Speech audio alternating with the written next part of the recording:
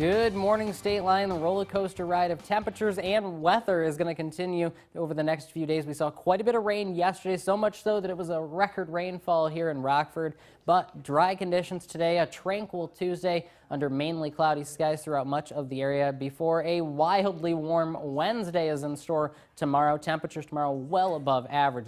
Last night, a line of showers and storms moved through the area, dumped all that heavy rain, but it since pushed off to the east, but it left a lot of rain in its wake. Some flood advisories and flood warnings for the Rock River and a flood warning as well for the Pecatonica River. So do keep an eye on the river levels over the next few days as they will be nearing flood stage in many locations. Speaking of the record rainfall yesterday, we picked up 1.65 inches of rain here in Rockford, just shy of 1.2 inches in Freeport, and nearly 2 inches in Monroe. The old record in Rockford was 1.55 inches of rain set back in 1926, but add the new record to the record books, 1.65 inches of rain fell throughout the day yesterday.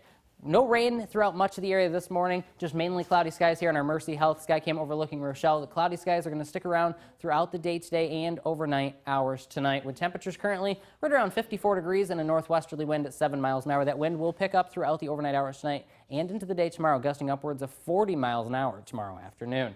Warming it up through the 50s into the low and mid 60s by the noon hour, topping out right around 65 degrees today, slightly below average, but above average temperatures are in store going into the day tomorrow.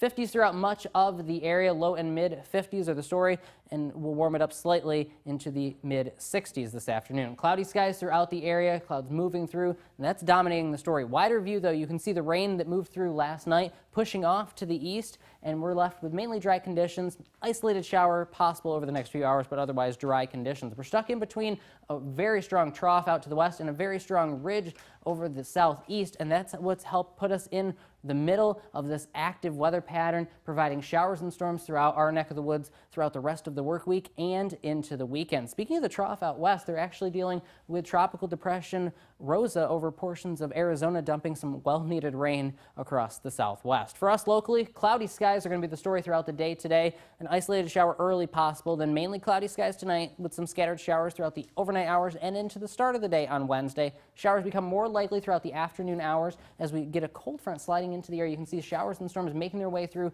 late Wednesday and into the start of the day Thursday, but then drying it out Thursday afternoon, turning partly cloudy. Your forecast for the rest of today, warming it up to right around 65 degrees, low weather risk, just an isolated shower early, otherwise cloudy skies. Tonight, cooling it down just slightly into the upper 50s, low 60s, mainly cloudy with scattered showers late. Winds start increasing out of the southeast 10 to 15 going with an 83 high temperature tomorrow. Warm and breezy showers and storms possible late. Gusts tomorrow upwards of 40 miles an hour. The warm temperatures are short-lived. Back down into the low 70s by Thursday with partly cloudy skies. More rain Friday, Saturday, and into Sunday. Temperatures remaining in the low 70s. Then bouncing back up into the upper 70s by next Monday. Emily and Jay, over to you guys.